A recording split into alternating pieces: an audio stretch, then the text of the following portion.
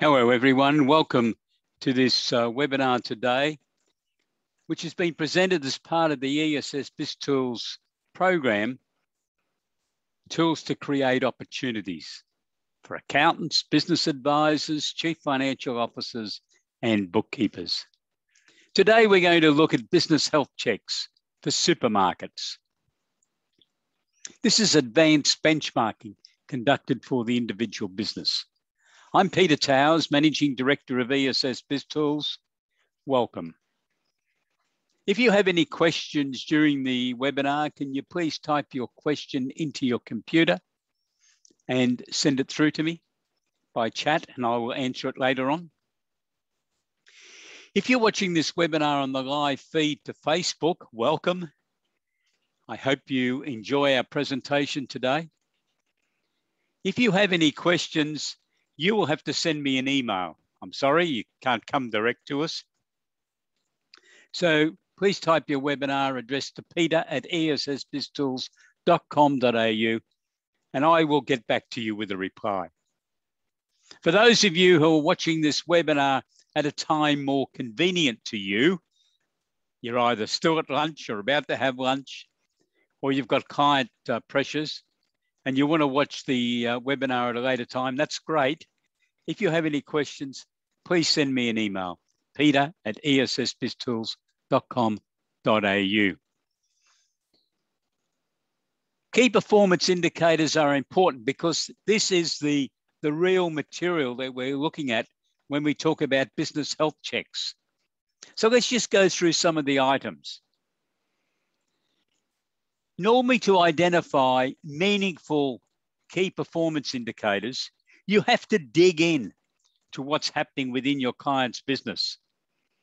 This is going well beyond the profit and loss account and the balance sheet and the tax return.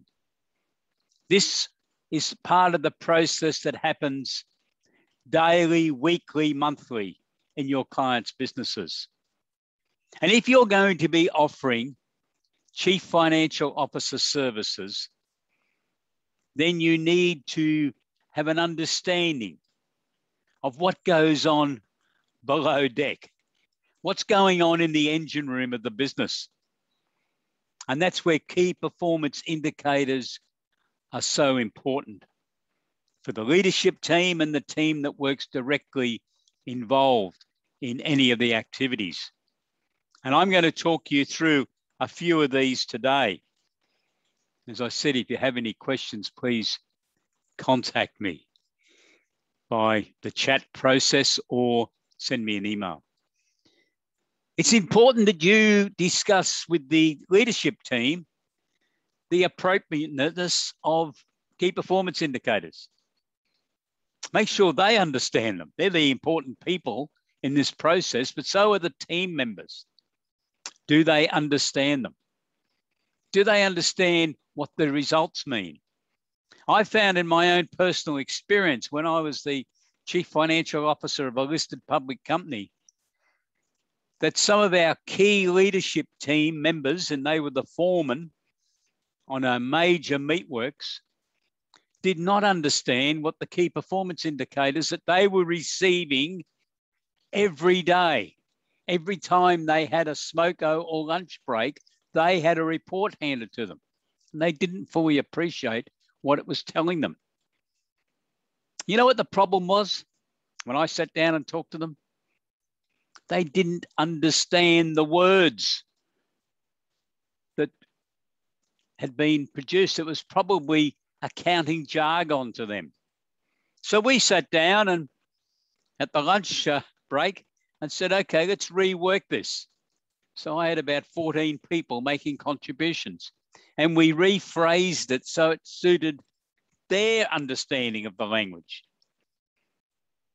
And then they embraced the concept. They got enthusiastic about it.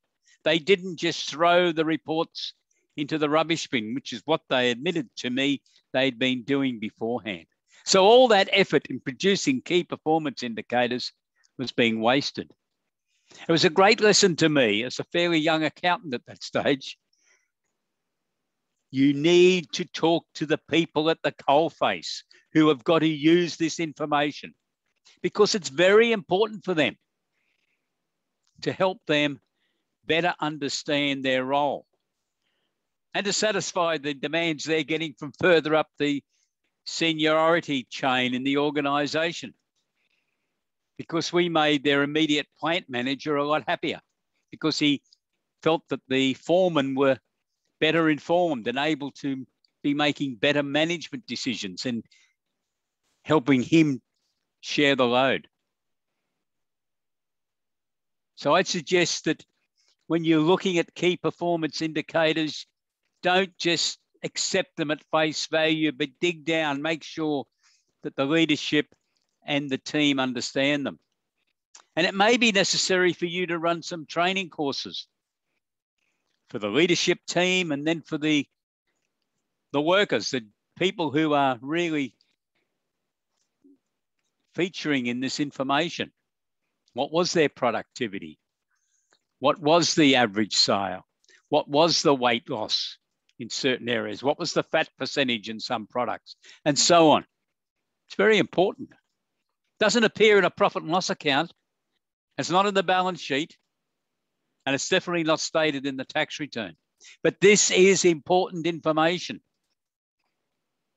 that your clients need to have. So if you're going to be offering business advisory services, you have to dig down. Discuss with the team if there's any additional information they'd like to know. And you might be surprised the feedback you get to that question too. They'll say, well, if you're measuring all this, why don't you do such and such? Because it's a lot more important for us. We guess it. Or we think about it later on and put down a figure. But a lot, lot better if we had an accurate figure. And if we could then compare how it relates to what happened yesterday, last week, and two months ago.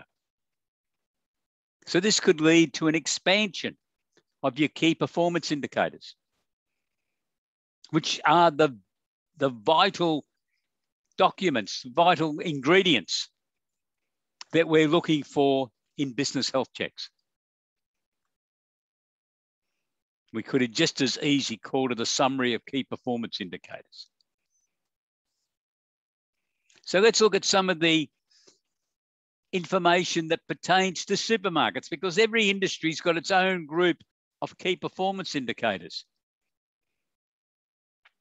And I think when you look at a supermarket, we also need in many cases to consider the shopping centre because in a lot of su supermarket activities, they're, they're conveniently placed in the middle of a shopping centre, aren't they? And many shopping centres now cooperate in making information available. What you've got to work with with your clients is making sure that you're receiving that information from the shopping centre management daily. And in fact, I've heard of some people receiving it hourly. They want to know how many people came into that shopping centre in, in the previous 60 minutes. So they can be measuring what they're attracting of that crowd so that they can then determine whether they need more promotional activities at various times in the day. Because there's 10,000 people enter the shopping centre in a given hour and only uh, 20 made it to their shop and they think that figure should be higher. What are they got to do to get people there? That's what this information can mean to your clients. So how many people entered the shopping centre yesterday? How many people entered the supermarket? What's the percentage who entered the uh, shopping centre? Now, on its own, that mightn't mean much. But what happens is that what you're trying to do is compare yesterday's percentage with what happened the day before or the week before or the average that may have been set in the overall planning parameters for the supermarket. What's the expectation? If based on uh, previous figures and on the promotional activities that your client's going to con con conduct? Is there an expectation that 3% of the people that come into a shopping centre are going to visit this particular supermarket? Or is it 10% or whatever? And then you need to measure it because data is only good if it's measured and examined. Because it might mean that uh, they're targeting 3%, but only got 1% yesterday. That's a lot of people when you look at a supermarket in the middle of a shopping center.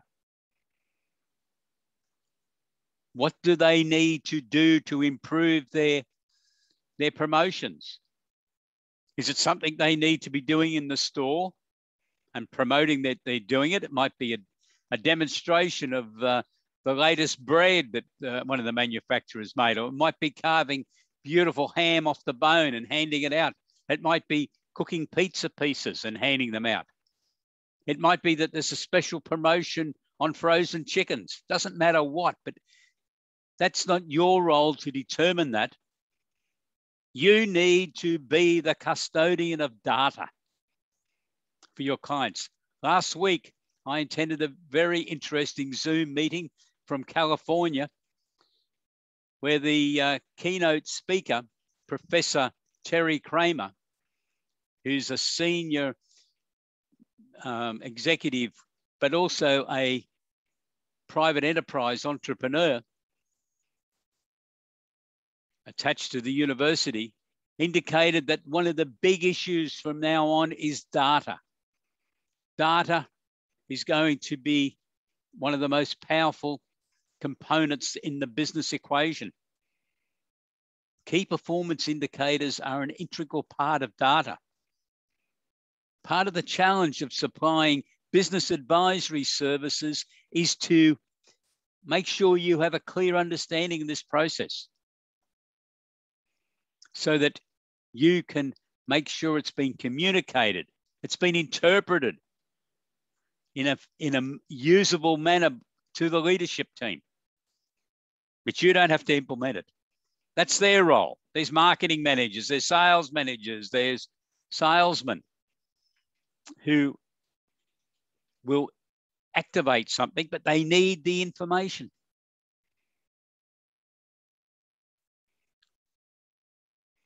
And what they're looking for is variations. They're not really interested if 3% comes in every day. Well, what they might be interested in is saying, what do we got to get to get 4% of the crowd of people come into this supermarket? Oh, sorry, into this shopping center, into our supermarket, or 5%. That's the challenge they can then work on. But if the figures are the same every day 3%, 3%, 3.1, 2.9, 3%, 2, 2.9, and so on. Okay, they just say, well, we're on average. But most business people are not happy with being on average, are they? They will then be, or should be sitting around saying, well, how are we going to increase our, um, our share of the market? And what percentage of those people, even when they get to our um, supermarket, are going to buy? So the whole system to do with the uh, business health checks is trying to identify variations from the norm. And this is what the leadership team needs to be brought to their attention so that the variation can be investigated. Again, it's not your responsibility, as I said, but it's to make sure that it's accurate, that it's, it's handed to the leadership team to then get some answers. And it might mean they have to go and have negotiations with the shopping centre management about whether they can do some additional promotions and publicising those. It might mean that they've got to talk to their to their um, marketing people about running some additional advertisements or putting more information on social media about an upcoming event. Might mean they've got to do more in-store promotions. That's all right. But they need that basic information and they need to have an, an understanding, a confidence deep down that the information's accurate. Because the last thing they want to do is go off on a tangent and then find out, oh, there was a mistake made in those figures. You need to make sure that the system that's been put in place is ensuring that the information is accurate because leadership people are going to be making decisions based on this. I think another good area for you to look at as part of this business health checks is to look at benchmarking. ESS BizTools does not produce benchmarking information, but we use it. We're a subscriber to benchmarking.com.au, which many years ago started as part of the FMRC group at University of New England at Armidale, Financial Management Research Centre. Later on, it got hived off and it's now a separate standalone company, now operated out of Sydney. They produce some great information for about 250 different types of businesses, and they're updating it all the time. And in fact, you can enter an arrangement with them to supply information so that they can be keeping their data pool up to date. I think it's a good idea for you to look at the reports that they produce for various industries, in this case, supermarkets,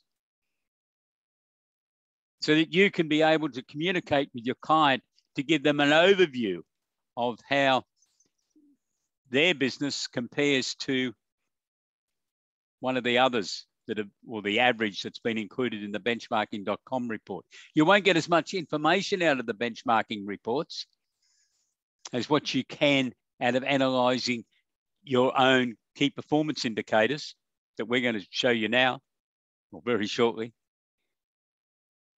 But it's all part of this business data. It's very valuable. It's very important for the management of businesses. I think there's also a opportunity for you. I've been running courses like this or discussions, webinars like this, and every so often someone contacts me and said, I got 10 clients in that industry. What could I do?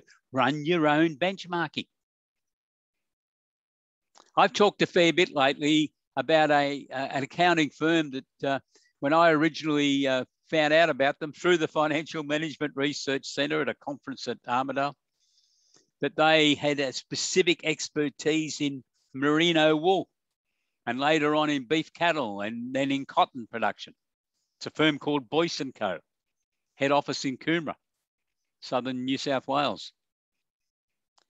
And they were, their claim to fame is that they developed benchmarking reports on the merino wool industry, which gave the opportunity for individual farmers to be able to compare their operations to the pool.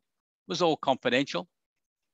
No one could really see who the star was, although I'm told they always found that the star firm was quite proud to be no, notified and to be known to the group, to be introduced to the group at a conference as to who the best farmer was.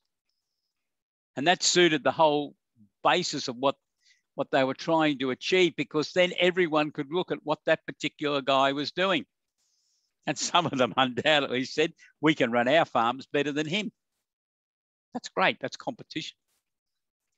Why can't you do that if you've got half a dozen or 10 maybe more different supermarket clients. Sit down and talk to them. Say, can we do a confidential benchmarking survey? Because the benefit will probably be you're centered on particular geographical areas. North Queensland, southern uh, Sydney, outer suburbs of Melbourne, inner suburbs of Adelaide. If you've got groups of businesses you can put together. And it mightn't just be supermarkets, of course, it could be any type of business and do your own benchmarking campaign. And if you're doing that, I'd still subscribe to benchmarking.com so you can show what their figures are showing and have some debate and analysis. I think your role is to help all of your clients as if you were their internal chief financial officer to run better businesses, to improve the value of their businesses. And they all need input quite frankly, we all need input.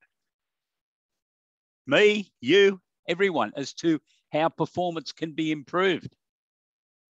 And this is part of the process you can do so. So please think about it. You want to talk to me about it? Please contact me. We can see how you could set up benchmarking analysis comparisons for your clients. You might even set up this full business health check for a number of firms. I think you'd find it very interesting. And I think you'll find very happy clients once you get it underway. You're going to have to communicate with them. You could then produce a monthly or quarterly newsletter to them specifically on the supermarket industry and give them some updates. And just as Boyce and Co have become recognized as experts in the merino wool, cotton, beef cattle industries, and a couple of others, I understand, you could become the same. And if you've got that expert status, it adds to your credibility. So please think about it.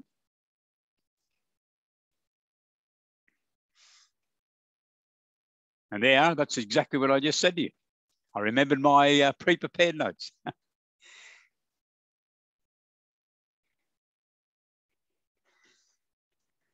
I think creating these type of systems for your clients or for a group of clients in a benchmarking type group will definitely add value to your clients because invariably they will be running better businesses. But it'll also add value to your team and your firm.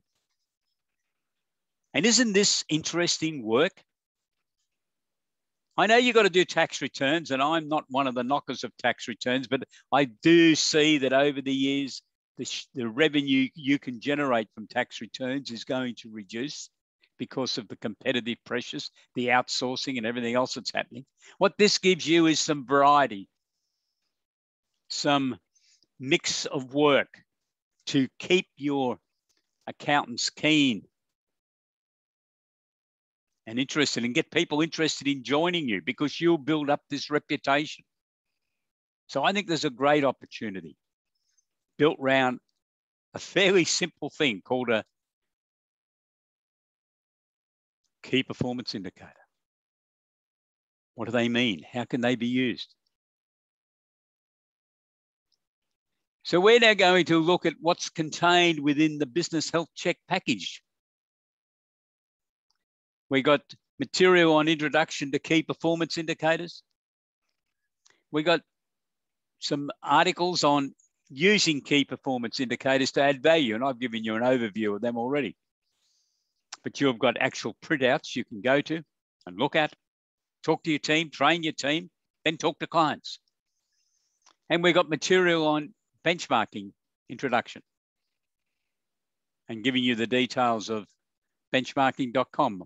We have a list of the industries that they supply material for.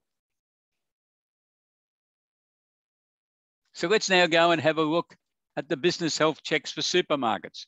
We're going to download our workbook from our website in a moment. And we're going to open BAS 403. BAS stands for Business Advisory Services, not that other BAS. And we had the use of that BAS uh, before uh, the tax office decided to uh, use that name. And then we're going to look at BAS 503 because that's where the final information will get printed. And as a subscriber, you can um, utilize that material.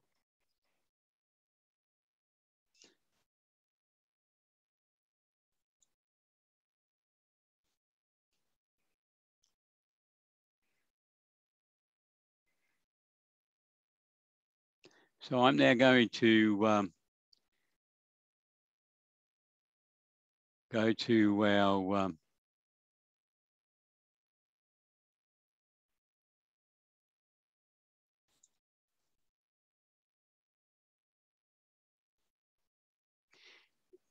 material on our website. So I've gone to the ESS BizTools website.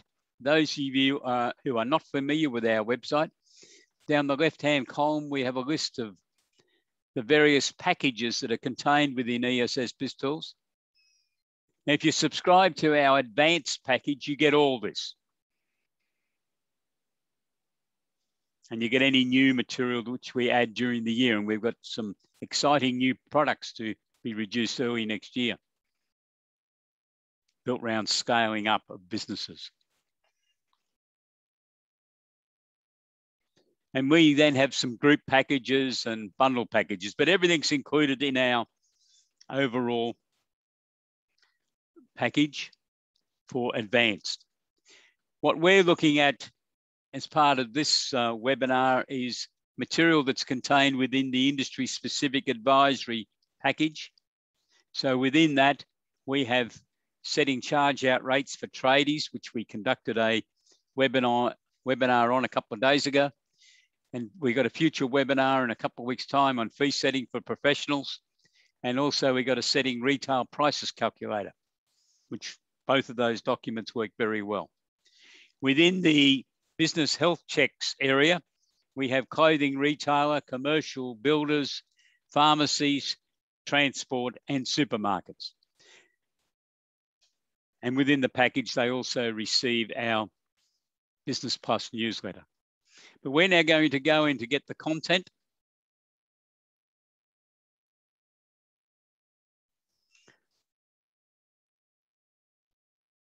And we're going to be, there's a video there you can watch.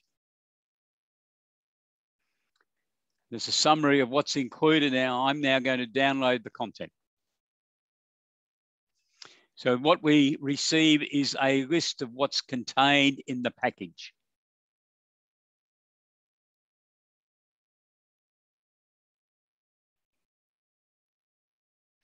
So there's a fair bit of material there, and I'm not going to go through that. I've overviewed what it is.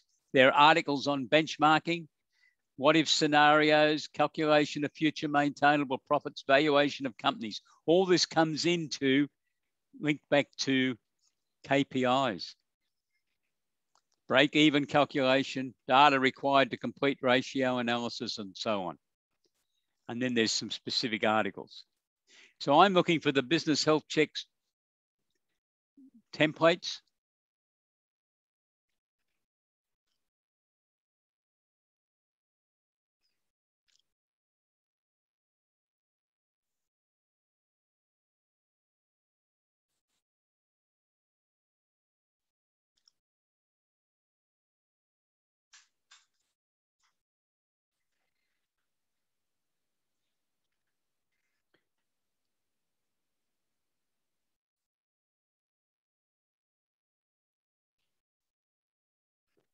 So there it is on the screen there. We had a bit of a hiccup there, but hopefully you can see that now on the screen. First of all, you get the instructions, which tells you how you're going to prepare this report. But I'm going to skip ahead and show you that. So these are the instructions for BAS 403, which is really the collection of data. So we'll go into there now. And so you set this up obviously by your name of your supermarket, the location, because this might be done for the an individual brand. Oh, sorry, we got. Hello, yes, Jane.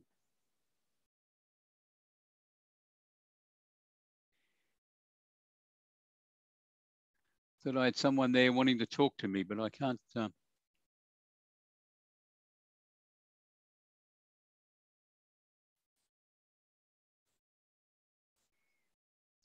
I can't. Uh... Oh, you cannot see my screen. Sorry, I've mucked that up somehow. My apology. I'll have another go.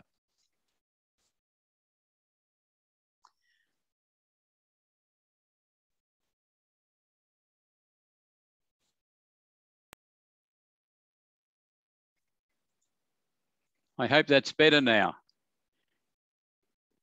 Can you now see it, Jane?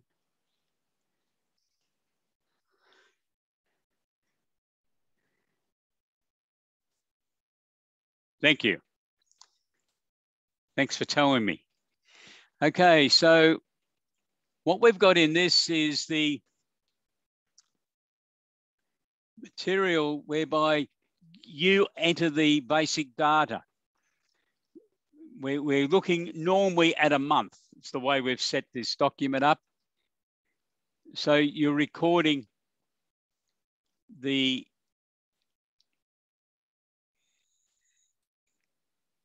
key data as to what's happened.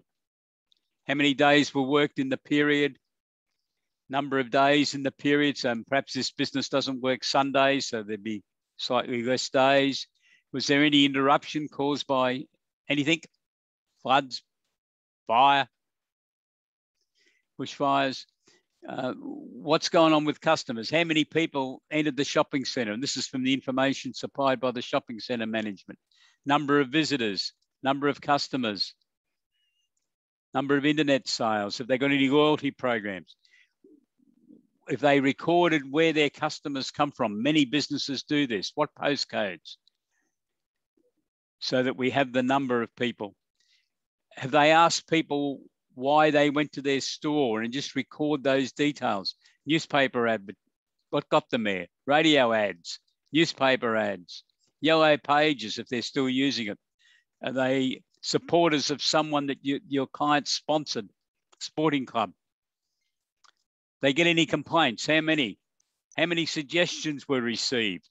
I think this is one of the big opportunities that retailers have, is that uh, they can really capitalize on the value of getting, if they get complaints, making sure they they get answers uh, for those uh, people and communicate them back to the person that made the complaint. They get any suggestions? How many returns of product? They used phantom customer reports? You presume you're familiar with phantom reports. They have uh, other people walk around the shopping center and check out um, the store. Was it uh, adequately uh, staffed? Was it did it have products on every shelf uh, or what are the prices, any sort of thing to get feedback. We can enter the sales data, cash sales, internet sales, credit sales via debtors. Then the dissection of the products. I've done some work in fairly big supermarkets uh, and um, some of them have got over 40 departments and they're recording gross profit percentages and contribution to the overall profitability of the business uh, for all those departments. I can remember talking to the senior manager of a major Woolworth store. Uh, my children, when they were going to uni, were working there. And um, he had 42 departments and he knew the results by Monday afternoon of what had happened in the previous week up to Sunday, he told me. In the week up to Sunday, not the previous week, the week was only half a day earlier. Compare that sort of information that that man was getting to your clients running supermarkets. How often do they know their results of all these departments that we've listed there? Now in our system, you can change these departments around if you wish to make it more applicable to your clients. Number of hours the supermarket's been open. And then we'll get the, from the financial accounts, which are very important to make this whole process work, you could then insert the gross profit for all those departments. We've then got some information on the working owners and principals, just to see how they they go and to calculate some figures. And that's in line with how benchmarking.com prepare their information. And then an analysis on employees and breaking the wages down to the individual departments. Because I see no reason why supermarkets shouldn't be getting results down to individual departments, just like Woolworths do. And I'm sure Coles and the store that I really worked on, and this was a major IGA store. So some of them, I don't know if all, but some of them were definitely doing this.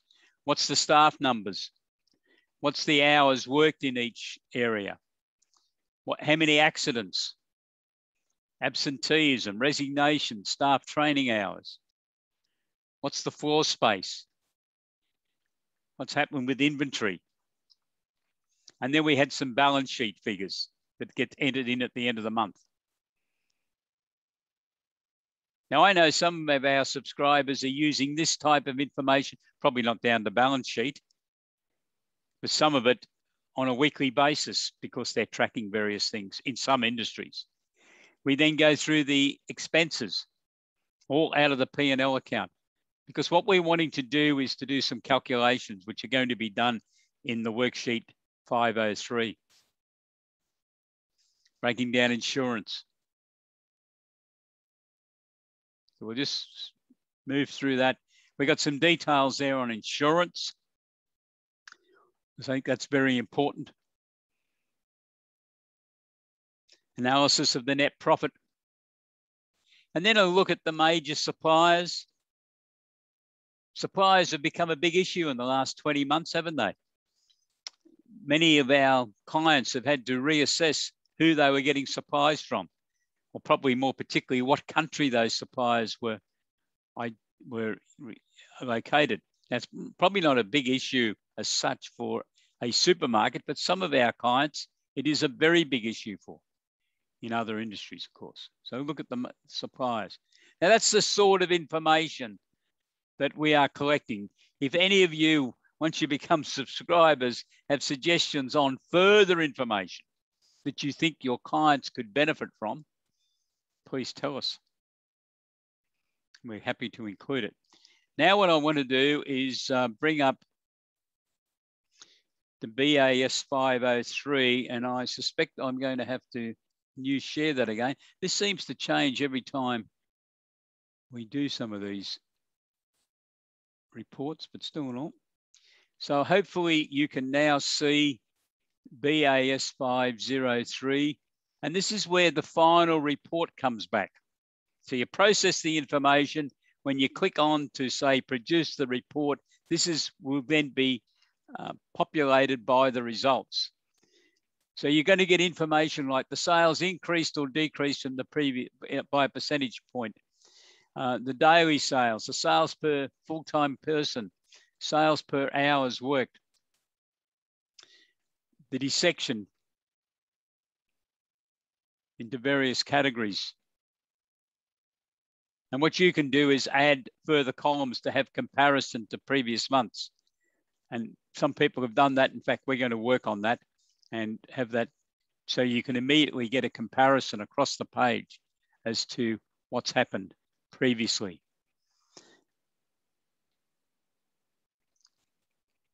Customer program, where, where, which number of customers or what percentage of customers have come from which postcodes? You might find that where the marketing effort your client's been doing is directed is not quite right. How many new customers did you get? What was the average sale to new customers? What was the shopping centre visitors percentage to your customers?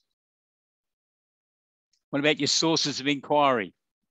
Where, where were the major supply chains bringing people to your client's business? Visitors to store. What about the percentage of complaints to the number of customers? What was the gross profit analysis over the various things? We previously we just put in the gross profit amount. We've now calculated the percentage. And again, it's the comparison to previous months. It's very important. What was the gross profit per square meter? What was the break even sales? These are figures you can then compare to the benchmarking.com reports. Wages analysis, percentage of sales. System calculates it all this and then it calculates your expense analysis on a percentage to sales basis.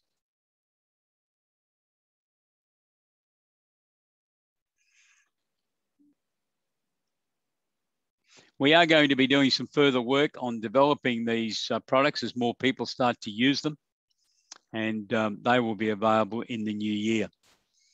What's the profitability analysis?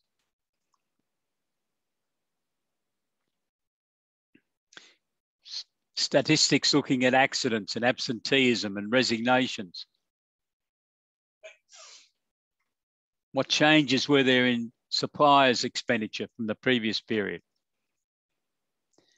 Sometimes it can give you an indicator that something might have changed. You, a particular supplier's expenditure may have gone up significantly. And when you inquire, you find out there's a lot more of that stock left. That might mean that someone's fallen for a, a hard luck, hard luck story from a salesman and bought a whole stack of stock. Is it all going to be able to be sold? It's a sort of variation in these figures that can mean something to the leadership team. But if they don't get this information fed to them, they'll probably never know unless they stumble across the stock in the storeroom or in the freezer store. Sometimes it can be difficult to do that.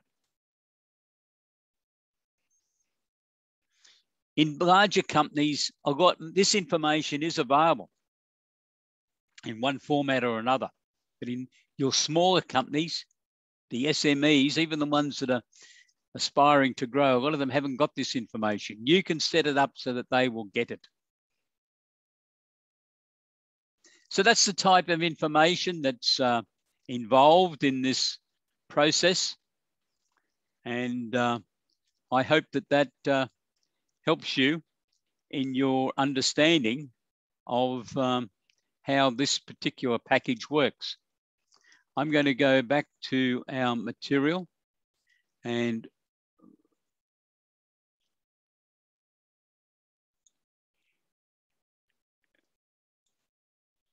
look at continuing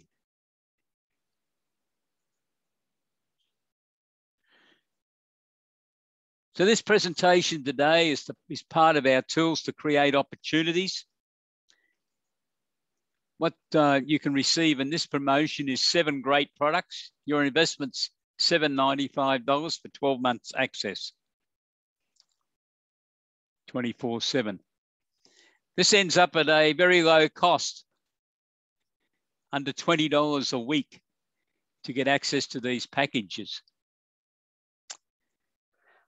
So what we've included in this package is that you get seven, but uh, four of them are fixed because they're part of creating the, the firm foundations to be able to offer business advisory services. So we've got the business advisory services training, that's 13 modules. Business Plus newsletter, we produce that 13 times per annum. There's two extra editions in, in May. There's only uh, one every other month and there's none in January. We've got uh, 343 papers on 60 different subject headings that you can badge and send to your clients. And you can also receive the SME needs analysis, which I think is the most important document that we provide in ESS BizTools, because this will facilitate by giving you some points to discuss with a client for you to have a conversation. Have a cup of coffee with your client and work through and get them to tell you what they want to know about. It might be succession planning. It might be they don't understand their key performance indicators and they think they should be upgraded. They mightn't understand how uh, their debtors system could be improved. And they're alarmed when you tell them that their debtors days outstanding is up around 90 days. So that's the benefit of the SME needs analysis.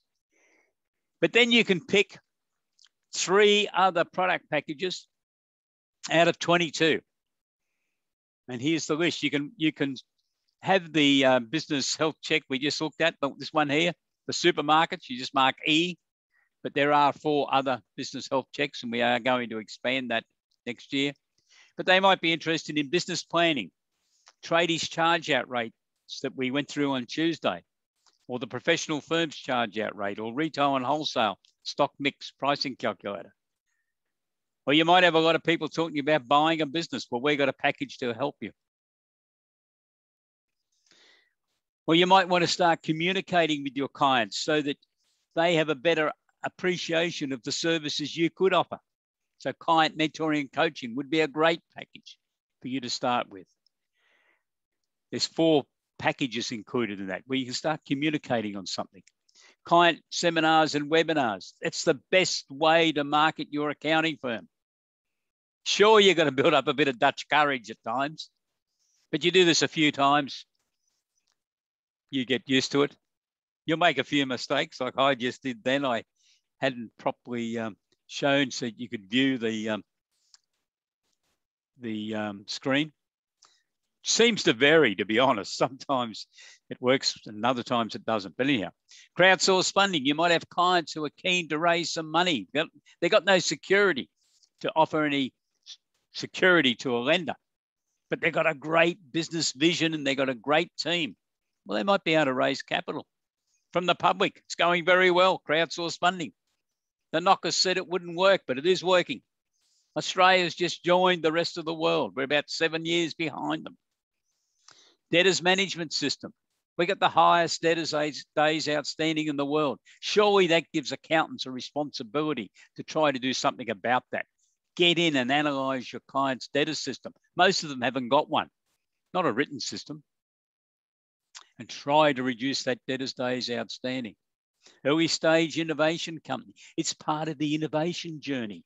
The government specifically created a whole journey We've had research and development for many years. We then have the Accelerating Commercialisation Grant we've now had for about 10 years. And now for the last three years, we've got Early Stage Innovation Company. They're all part of a journey.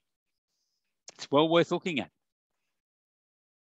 Incidentally, if you asked any of, of your clients if they are doing research and development, I think there'll be well over um, 22, 23,000 applications this year for research and development. A lot of them could be interested in early stage innovation companies. Government grants. My assistant in our office here, uh, Evelyn, does a great job on government grants, and every day there's more and more and more that have to get added to our ESS BizGrant system. That system was developed to assist accountants to identify grants because they're a great referral system to your clients. Clients are happy to get government grants. They're saving money and they think you're interested in them if you alert them to them because they won't know about them. The only time they really find out about them, I think, is on a Friday night if they're in a hotel or a club or somewhere and they hear, pardon me, one of their competitors bragging that they got a grant. And they're not very happy if they don't know anything about it because they say, well, why didn't my accountant tell me that this grant existed? Leadership modules. We've got four modules. Out of 16 are in this system, 16 in the total advanced package, but four modules to help you with your leadership skills. And you never know, you might want to conduct some leadership training for one of your clients one day. Personal Property Securities Register. I don't like that legislation, but whether I like it or not doesn't matter. It can be very detrimental for some of your clients if they are unaware of it and haven't registered assets on the personal property securities register. I think accountants should be a walking encyclopedia on this legislation so that you can be monitoring your clients. And one of the biggest problem areas is tradie type businesses because they can get caught out on claims from liquidators relating to preferential payment claims because of the payments they've received from a client. So it's well worth your time in understanding selling a business. There's still plenty of that going on. The SME Data Systems Manual, that's a template system whereby you modify it to suit your client's systems requirements. And then they've got a written system. So the person that's got that responsibility. He's got something to guide them. A lot of people don't give them that. Succession planning. It also keeps on happening, doesn't it? How can how can your how can you help your clients? And survival in difficult times. Well, we've still got difficult times. I think we're always going to have difficult times somewhere in Australia in some industries. There's 38 questionnaires in that package. It's very comprehensive you work through with your client, you get the answers, and then what we've done is interspaced articles, reports, if you like, commenting about debtors' days outstanding, commenting about succession planning, commenting about their key performance indicators. What's a good system? That those types of notes, so that you can then supply those to the client so they've got something to really look at. And what's all this do? It gets the client to have an appreciation of the broader role you can play to help them run a better business, to add value to their businesses. Clients don't really appreciate this if your traditional role has been annual accounts and tax returns, and you really have shown no, out, no outward changes. Even though you may have subscribed to our products, they need to be marketed and promoted. And that's why in those four key product packages that we've said are an integral component of this package that we're offering, They are basically marketing tools to help you communicate and market. Anyhow, you pick three out of those 22. If you need more information, please send me an email and we will send you the special brochure. But it's a pretty low cost, isn't it? $795. If you want our, our starter package, there's 17 packages in that as compared to seven in this one. And that's a, a payment of only $995 for 12 months access. And those prices include GST. So I look forward to hearing from you. Our next webinar is looking at um, crowdsource funding, equity raising. I talked about this before. I've been a key keen, a key, keen fan, if I can say that, of crowdsource funding since it started about three and a half years ago now. It got off to a bit of a shaky start to start with. The government then changed some of the rules. It's available for private companies and unlisted public companies. If you've got a client that's currently in a partnership, you could think of planning this through. Like, doesn't matter if they only formed the company two days ago but it gives your clients the opportunity to be able to raise up to $5 million in a 12 month period from the market. And companies are doing it. So we've got that webinar on next Tuesday, 26th of October at 1 p.m. Please join us. We have another one on Wednesday, the 27th, where we're going to look at presenting mentoring uh, seminars and webinars to help with communications, to help you to be able to tell your clients that you can do all this. And um, on Thursday, we got uh, looking at the leadership modules. I attended a very interesting webinar yesterday on leadership. Leadership's a fascinating area, isn't it? And um, I just wanted to have a look at what other people are promoting so I had a look at someone else's webinar on leadership, but it's very, it's a very broad subject, of course, leadership, and um, it was quite interesting, very well presented. So our contact details, please send me an email, peter at essbiztools.com.au, or you can telephone me on 1-800-232-088. But best of all, why not visit our website, www.essbiztools.com.au. And I've sort of said our new website, brand new. Have a look at it. And if you want to, please register for a mentoring session, one hour with me. I'll take you through it. I'll give you a prescription of what I think you should have in the package to suit your clients, your team, your firm. And we don't charge you for that one hour. You just book the time and um, we will then be talking to you sometime in the next couple of weeks. So thank you very much for joining us for this webinar today. We have recorded the webinar. We will be sending you a link to the recording. If you want any further information, please contact me. So thank you very much. And uh, I hope you uh, have a great day and that uh, I hope you found that this presentation will help you have a better understanding of how you can really use key performance indicators to improve the business health of your client's business and therefore help them to add value to their businesses. Stay safe. Have a good day. Bye bye.